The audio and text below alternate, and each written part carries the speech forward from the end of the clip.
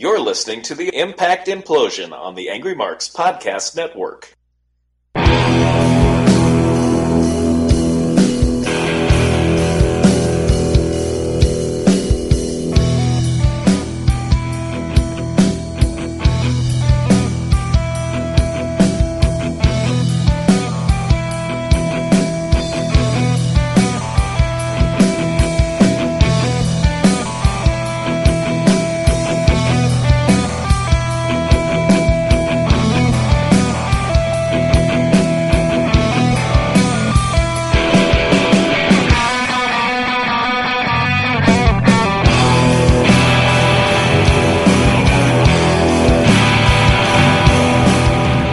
It is November 30th, 2017. It is another episode of the Impact Implosion, or as you are all going to hear this, when it's uh, December of 2017.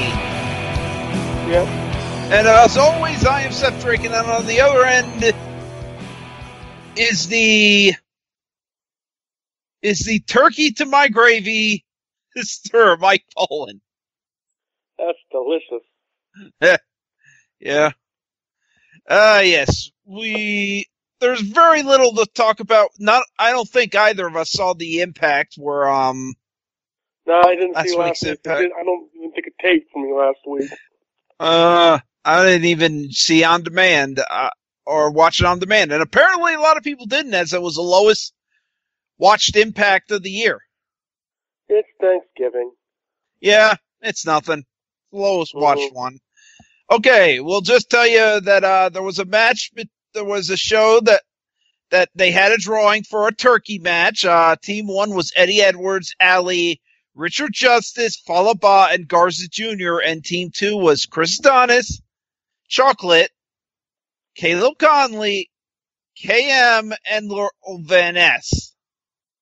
What a couple of teams that is. And Edwards rolled up uh, Adonis, so Adonis had to wear the turkey suit. Oh, messed up turkey. Yep.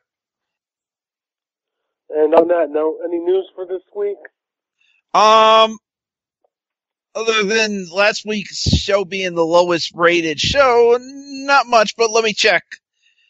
Uh, Impact is going to return to Orlando for the next tapings, I saw that. despite Um, announcing that they are officially a Canadian company. whoops. Apparently that flamed out quick. Yep, that was false. And oh yeah, there's one more big news. Impact has given up the broken ang gimmick fight. Yay! So, and they've now said that all Impact Wrestling talent has the rights to their character and everything that goes with it, lock, stock, and barrel. You should always make sure that's the case anyways. Well, not WWE does has the rights, and Impact tried to be WWE. Unfortunately, they don't have the money. Cherry McDevitt wins them again. Yeah, they don't have the money to last a long fight, and well, they just lost. GFW, everybody. And also, there was a big C- CBS um argument with Dish Network. Um, so CBS has pulled Pop from Dish Network. No. Yeah, so if you all have Dish Network, you cannot watch Pop TV or Impact. Sorry. Yep, actually they ended apparently um they ended that dispute. Uh so Pop TV is back on Dish Network. Okay. I just got told that. They just ended that dispute recently. So yes, it's over. You can all watch your Impact now. It's over. Also, Alberto's Crappy Restaurant. We probably mentioned this on the Ang- Turducken, but yeah, it's closed. Hmm. Yeah, it's a La, La Cantanita. He owned the restaurant in San Antonio. It's closed. Alberto also wants to retire pretty soon, from what I saw, from what I read recently. Uh, he, considering the way he looked tonight, I mean, it, uh, I mean, wearing a shirt to a wrestling match, it's not gonna come. It's coming soon. She needed to. And speaking of that, on to the night show. And on to yes, tonight's show. Tonight's show. Uh, they basically went backstage, talked about how there will be a new knockouts title tournament, and there will be two three ways to semifinals to decide the tournament. That's not a tournament. Two three ways to decide tournament, and then after that, the two finals will um finals will face each other. It kind of is a tournament. It counts. Semifinals and I finals saw count. some people online complaining that it's not really a tournament. I'm like, eh. it's it's it's got brackets and all that. It's a tournament. It's a short tournament. It's a tournament. eh. Well, it'll get us through the next couple weeks of TV at least. Yeah. And we also had a uh basically an out showing us graphics of all the matches we will have tonight, including the first Knockouts Championship tournament match. James Storm facing Texano. LAX will speak. Uh, Matt Sydal will battle Tyson Dux, and uh, Hakim Zane takes on Ishimori, Taiji Ishimori. Ishimori and and Albatron versus Johnny Impact. Yep. So a lot of matches, but not like promos tonight. Oh yeah, and Madison Rayne is back For tonight. for tonight. Uh, yeah, and they're not even hiding that she's Josh's wife anymore. They're not even trying to hide that fact. They're like, oh, she makes me dinner a few times. You know her Oh. very well, Josh. And he's like, yeah, I do. So yeah, it's Laurel Van Ness, Casey Spinelli, and Madison Rayne in our first matches. And Laurel Van Ness looks like a mess. Drunken mess. Uh, she's got lipstick all over her face. She applied too much lipstick on, and uh, she came out with a jacket and glasses. Oh, and a bottle of wine. She's still drinking that That's stuff. good. That's good. That's good. always great to. And someone during the match had seemed to have trouble with the volume as it was going down at random times. Yep. So basically, this match was just a match. Um, there was Casey delivered a nice electric chair spot onto from on Madison. Uh, I mean, LVN hit and hit, landed on Madison. But Laurel Van Ness, uh, she tried to uh, reverse DDT, but Laurel reversed it and hit it on Prettier for the three count. hmm So yeah, Laurel Van Ness goes to the finals. Yep. Yep. And two weeks ago, Caleb Conley would be an idiot, cost his team the match. Yep. Sorry, water. But What? next up is uh Aishi Taiji Aishimori versus Global Forge winner Hakim Zane. and Ishimori wins. Yeah, although he and he does a pretty nice uh handspring enzuigiri. I like Ishimori. Yeah. Ishimori wins with a 450 splash. Congratulations, Zane, on winning Global Forge. Now you get to be a jobber. Yep. Although I'm pretty sure I've seen him on a few impacts like before the Global Forged. Yeah. I think he's yeah. been around a, while, a bit. Ah, shit. Well, Oh. uh, Squared Circle Sirens is reporting that Laurel Van Ness has asked for her release. God damn it. GFW, everybody. Oh, by the way, uh, an even bigger release. The, the Boilers basically say she wins the title. Whoops. Yeah. Ah, shit. Oopsie. Ah, sh- Well, God like I'm damn being, it. I'm being, I'm being portrayed wrong. I want my release. Here's a title for you. Uh, uh, you won the title. Uh, now I want out. God damn it. I just got that news a minute ago. I'm like, ah, shit. God Damn this company. GFW, everybody. GF uh, Impact, everybody. Not GFW anymore. Can't even call it Yeah. that. 'cause They lost that.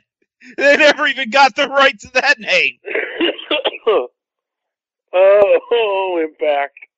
Ah, yeah, god damn. It's the show. It's the land of confusion, people. Uh, next. Next, hold on. Let me get this. Was, so yeah, Ishimori wins with a 450 splash, and then Trevor Lee and Caleb Conley beat up Ishimori after the match. Uh, setting up that feud.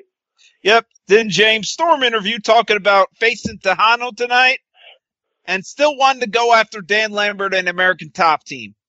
More on that later. Yeah, more on that later. And a very long, or what seemed like a very long Alberto promo. Then the. L- LAX clubhouse. Konnan mm-hmm. says they have a problem with Sally Callihan and Homicide's like, you gonna handle it? And Hom- they asked Homicide to handle it. He says, sure. You know I'll handle it. They're gonna take him out and get the tag titles back. Yep, that was basically all the talking segment that they hyped up. That's it for them for the night. That was brief. And then we go to Defy Wrestling in Seattle which will be coming though to the GWN soon. Uh, Sami Callihan versus Randy Myers. This isn't a full match and we only got clips. And I know this was not a full match as somebody who was at the show talked about a moment. Let me see if I can get this up. That was in the match that was not shown. I hate, yeah. I, Impact, everybody. Impact. Well, we can't show the full match. Sorry. We can't show the full match of this this company that nobody's heard of. yeah, sorry. Sorry, Impact people. Sorry, fans. We can't show you the full match. And we can't show you. Okay, uh, Sami pulls somebody out of a chair, my seat, to use the chair and hits Randy with my bag of street streamers. So yes, Sami hit people with a bag of streamers. Huzzah. That wasn't shown at all. Because, you know, that would be too stupid to show. Yep. But anyways, um, we go backstage to Alberto El Patron, who calls Johnny a little kid and him a man. You ain't a man. You're shit. Oh, mm-hmm. la you're la mierda. La Mirta. I'm going came back to destroy it. What better way than kicking Johnny's ass?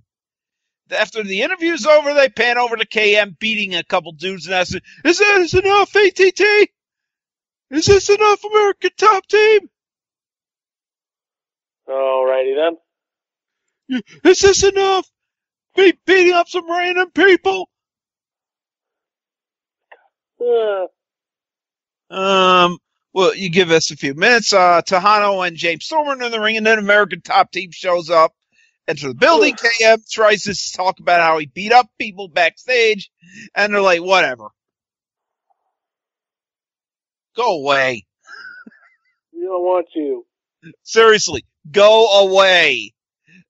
So, the basically this match happened, and uh, the finish was Texano grabbing his own cowboy hat, putting it on, and yelling "cowboy" to himself, to the fans, before James Storm return. It's a last call super kick and gets the win.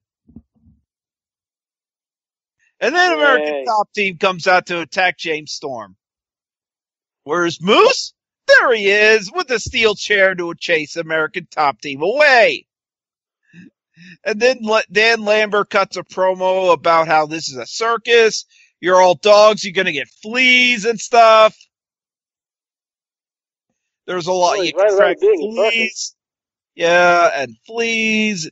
And next week it's going to be Moose and James Storm versus Lashley, I mean Franklin, and their secret weapon, Him. Dan Lambert. Yay! Even Colby Covington and King Mo are like, oh fuck, Damn it. god damn it. Didn't we get a Pluto TV rewind of uh, Rhino going Kurt up his- Angle and Joe. No, no, no. This was the Pluto TV rewind. Uh, Kurt Angle Joe was later. But this was a Pluto rewind, TV rewind spot where Rhino gored Abyss through a wall.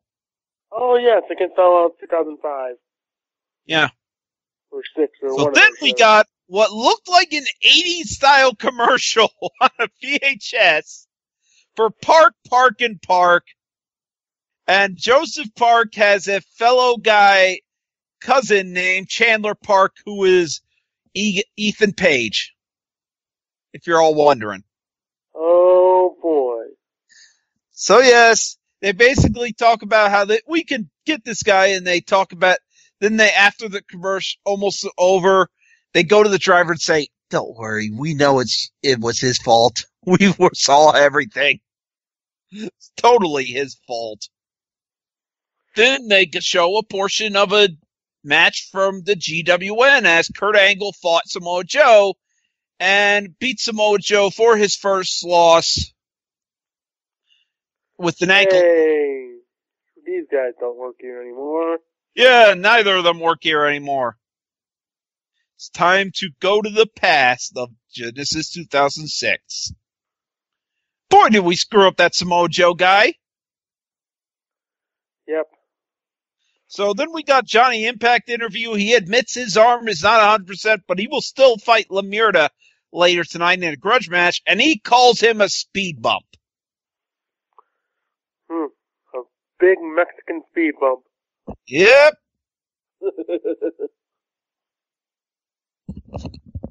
So then we go. Eli Drake is ba- after a commercial break. We go to Eli Drake backstage, and he says, "Yeah, I'm going to be watching the main event later tonight." He makes it known he will be watching the main event closely. And he's got two pickets. He's got a punch, and it's against both of them.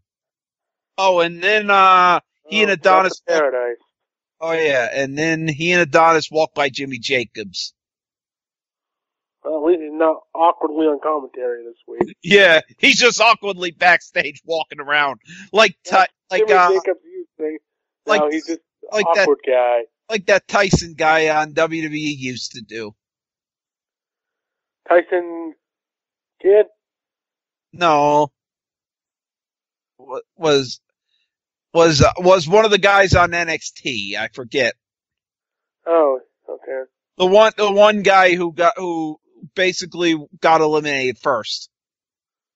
The Hmm. moron of the group, uh, who uh, also got cut first, Okay. and he just had random backstage spots, which were supposed to, I guess, lead to something, but it led to nothing, and he got released shortly after. So, EC3's at com on on get on commentary, and we're gonna get Matt Sydal versus Tyson Dux. And he basically pisses on this match by saying it doesn't matter, it's not a big one. That's the whole thing with EC3 and Sydal is that. Sydal can't win the big one. Oh yeah, basically says, oh yeah, Sydal will totally win this match, but it's not a big one. It don't matter. This ma- this whole match doesn't matter. Very both guys. Good Yeah. job. So Sydal won. Pretty good match, even though it meant nothing. Uh, Sydal won with the shooting star press. Then we got a video package of Lemire talking about how this company basically belongs to him, how it doesn't belong to uh doesn't belong to anyone else, and uh, how Eli Drake is a, just a paper champion. And then we get announced that EC3 will defend the grand title against Matt Sydal next week. Yay. So it's main event time as we get the grudge match between Johnny Impact and Alberto Lamirda. And is it coincidence? But Alberto has kept his shirt on this whole time. Not Yeah. a coincidence. This was a decent match. They they did. There was a spot I think um, during the commercial break that um Johnny was set under some uh, stairs, and Eli Drake jumped on the stairs. No, no, it was set under the stairs. He wasn't on the stairs; he was under them. So yeah, he got pretty much squashed by Eli, uh, by, uh, Lamierda on the stairs. So yeah, that was fun. I'm sure. That was fun. That must have hurt like, and yeah, he was bleeding at certain parts. hmm So fun for the whole family for him. So, so yeah, he's ble- bleeding at certain parts of his abs. He's got a bruise. Uh, some of his blood gets on Lamirda. Um, then we get a spot where, um, Knox is about, he's about to hit his, imp- I mean, impact's about to hit his impact elbow, but Patron pushes the ref in front of him. Ref goes down. Alberto kicks Johnny in the balls. Uh, Patron then revives the ref, hit a DDT, but Johnny kicks out. Alberto hangs Johnny in three robes and untapes Johnny's shoulder, shoving the tape in his mouth for some reason. And then Eli Drake comes out and starts saying, "Oh, hey, you want me? You want to beat him? Come on, beat him. Go beat him." So he just, but Patron, but Almeida first got to hit the champ with a right arm and then hit him with the championship. But when he gets back in the ring, Impact knocks him all over, hits Starship Pain and gets the win. So yeah, Lamirda lost. Whoops. Whoopsies.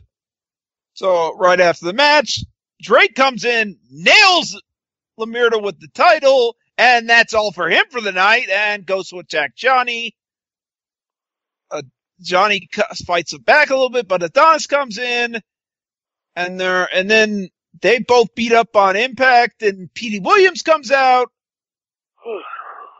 and the vet hits a Canadian Destroyer on Eli Drake. They celebrate, and the show ends. Yep. This was actually, uh, like I said, a good show. It wasn't great. I mean, there's nothing great about it. So yeah, that was that. Uh, do you have anything to sell? Nope. And I, I could mention that, uh, let, this week, over the weekend, I inducted, uh, Camera versus Virus and, which is on my site. And, uh, my next induction will be Jack Frost 2. Ah. Oh, and there were during the main event there were dual chants, and I was like, "These fucking apologists for uh, a piece of shit that was Lemire." And I was like, "This is why we gave those apologists to Kurt Turducken. We didn't give it to a specific wrestler. We gave it to the wrestling apologists out there. Yes. You all deserved it, and you continue to prove how garbage you are. Congratulations. So yeah, did you? You said you had nothing to sell, right? I have nothing to sell. Okay. Um. Yeah, I, I completely lost my train of thought there. Um. With that said, Miley, we are heading to bed. Good night, everybody.